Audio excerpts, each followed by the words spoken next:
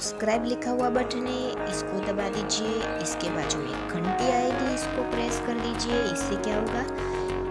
आपको तीन ऑप्शन मिलेंगे। इसमें आप ऑल पर क्लिक करेंगे तो इससे क्या होगा? आपको हमारे हर एक नई वीडियो का नोटिफिकेशन मिलता रहेगा, जिससे आपको हमारे हर एक नए लेटेस्ट अपडेट्स मिलते रहेंगे। Enjoy thanks for watching this video